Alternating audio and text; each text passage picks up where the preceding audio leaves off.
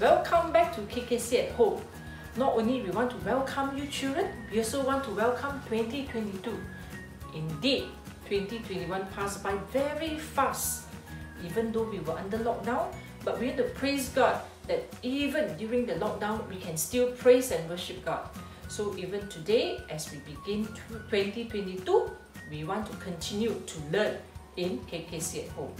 So what do you think we are learning today? What is love? I love coffee. I love to watch Running Man. I love my family.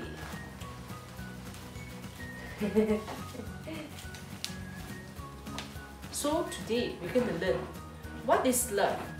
But before that, we want to sing a love song to our Lord, our God, our Jesus.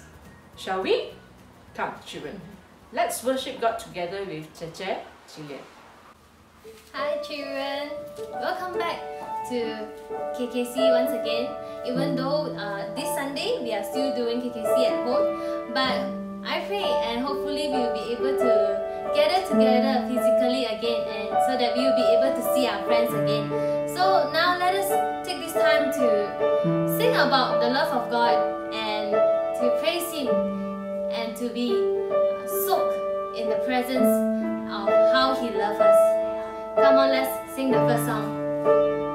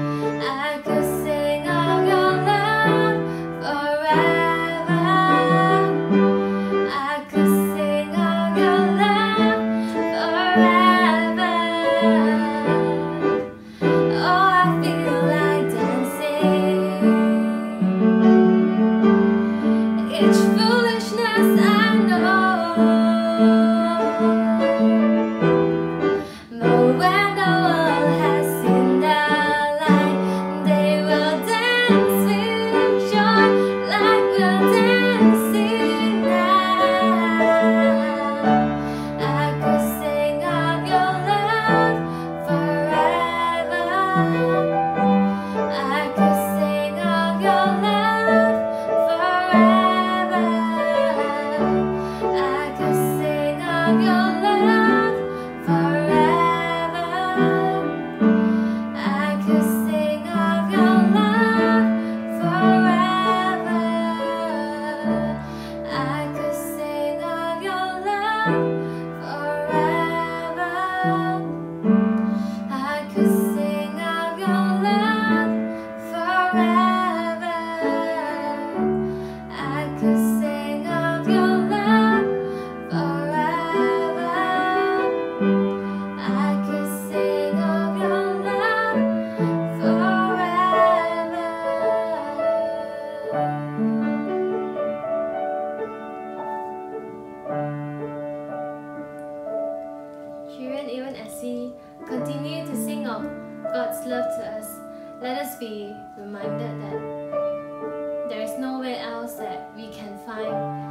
love that only God can give. So, no matter where we are, no matter how we feel, let us remember to all come back to God so that we will be reminded of how He loved us.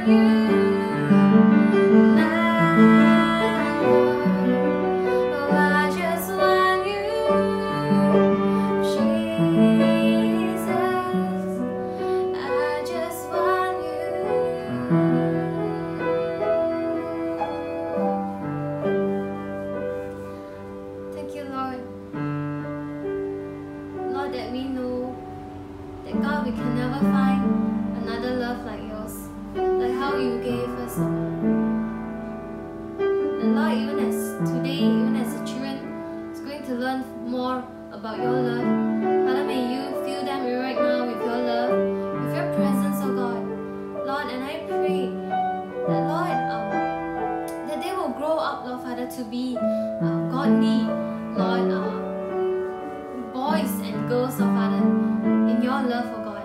Lord, I pray, Lord, that you grant them attentive spirit, oh God, even as they go through the lessons today. And as we um, start off with the first KKC Sunday for the year 2022, Father, may you bless these children and may you bless their family. And the Lord, that you fill this year, Lord Father, with your love, with your joy, with your favor, Lord.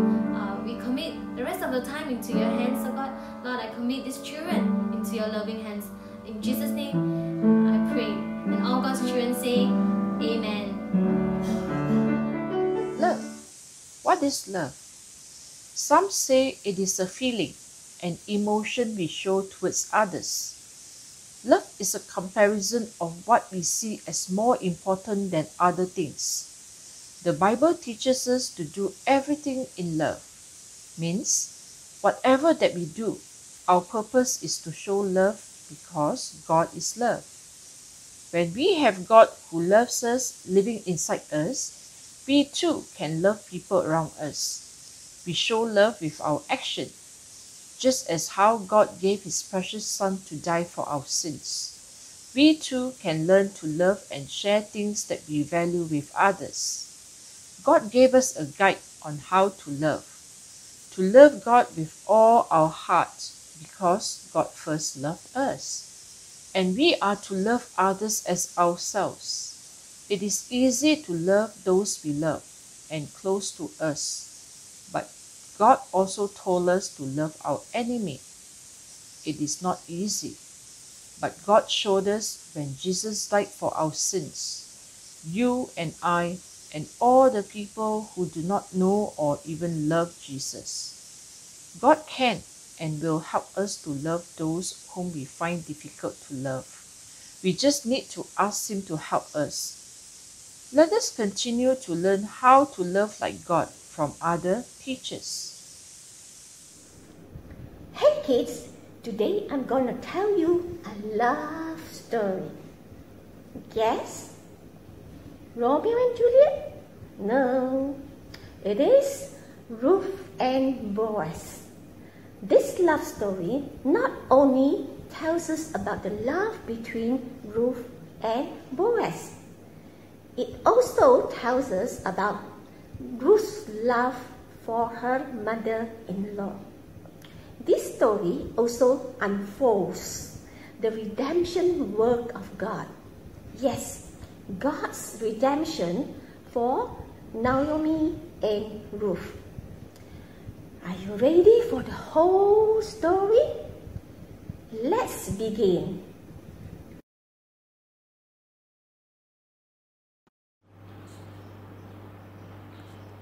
Naomi lived in Judah with her husband and their two sons. There was a famine in the land, so it was difficult to find enough food to survive. Naomi and family decided to go to Moab. While they were in Moab, Naomi's husband died. Naomi's sons married women from Moab, Orpah and Ruth. They all lived in Moab for 10 years, and then Naomi's sons died. Naomi, Orpah, and Ruth were all alone. The famine was over. So Naomi decided to go home. The women were very sad to leave each other. Orpah returned home, but Ruth clung to Naomi. Ruth said, Wherever you go, I will go. Wherever you live, I will live. Your people will be my people, and your God will be my God. So Naomi and Ruth returned to Bethlehem together. Ruth went into the fields to gather fallen grain. she happened to go to the field of Boaz, a good man from the family of Naomi's late husband. Boaz saw Ruth in his field. He had heard how kind Ruth was to Naomi. So Boaz took Ruth to stay in his field where she would be safe.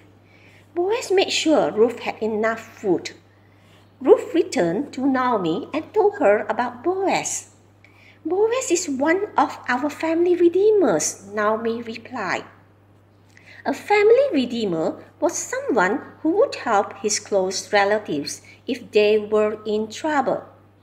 Naomi knew Boaz would take care of Ruth, so she encouraged Ruth to stay in his fields. Naomi wanted to make sure Ruth had a husband to take care of her. So she gave Ruth special instructions. Ruth put on her best clothes and laid down near Boaz's feet.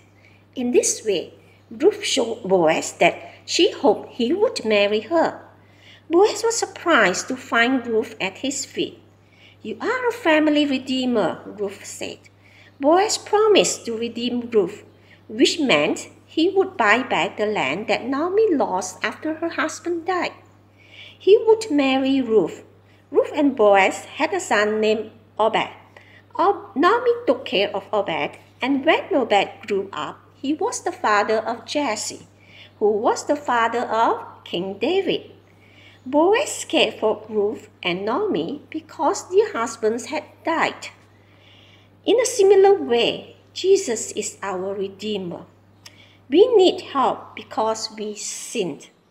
Jesus bought our salvation for us by taking our punishment when he died on the cross.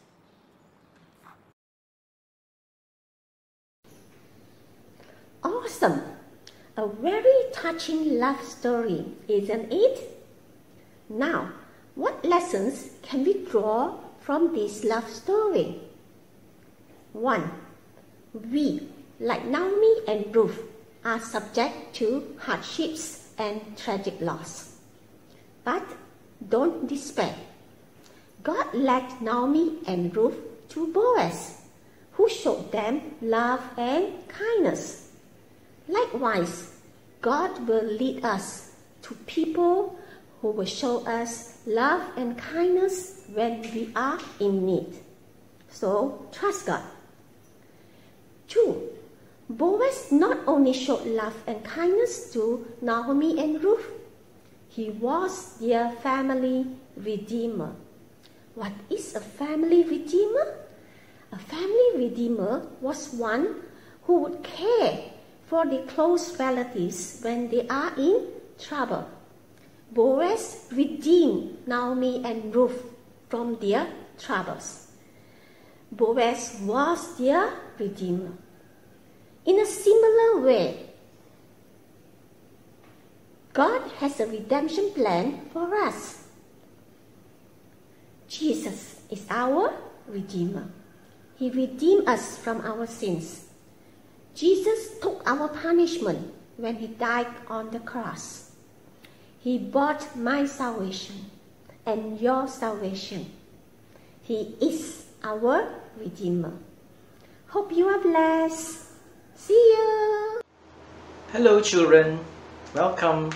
Today we are going to talk about an object lesson which you all know.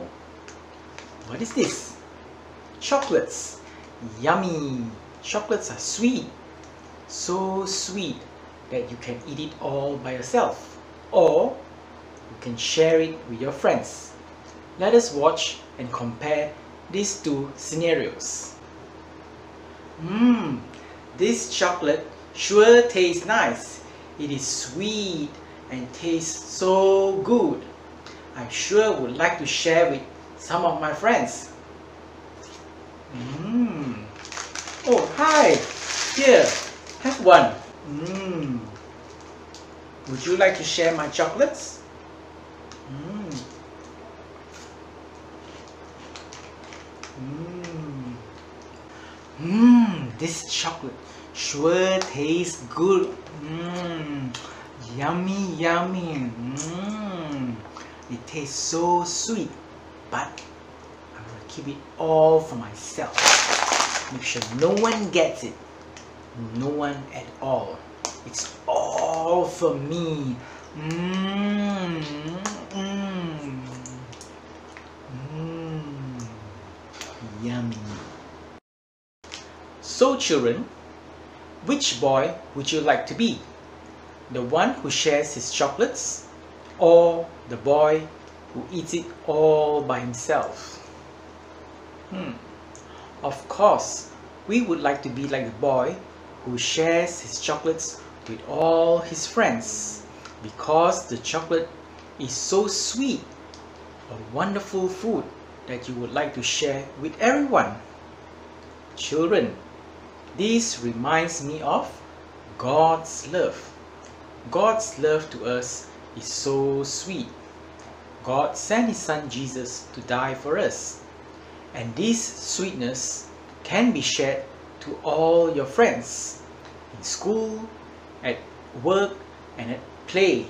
Children, when we share the love of Christ, they will feel the sweetness of God in their lives. So, children, start sharing the love of God and your chocolates. Bye. Hi, children. Today, memory words is taken from 1 Corinthians 13, verse 3. If I gave everything I have to the poor and even sacrificed my body, but if I didn't love others, I would have gained nothing. It's taken from 1 Corinthians 13, verse 3. Okay, now I will fold the first line. Can you all remember the first line of the words? Let's try. If I gave everything I have to the poor and even sacrificed my body, but if I didn't love others, I would have gained nothing. 1 Corinthians 13, verse 3. Yeah, that's good. Okay, now I fold the second line of the words. Can you all remember the unseen section of the words? Let's try. If I gave everything I have to the poor and even sacrificed my body, but if I didn't love others, I would have gained nothing. 1 Corinthians 13, verse 3. Yes, that's good. Okay, children. Love is patient. Love is kind. Love is best understood as a way of life. Lived in imitation of Jesus Christ that is focused not on oneself but on the other and his or her good. Okay, children? See you next week. Children, today we have learned much about love. But what is this love that we are actually talking about? You know, in this world, there's two kinds of love. God's love and the love that human shows. Let's see what is the difference between these two love that we are learning today. God's love is selfless.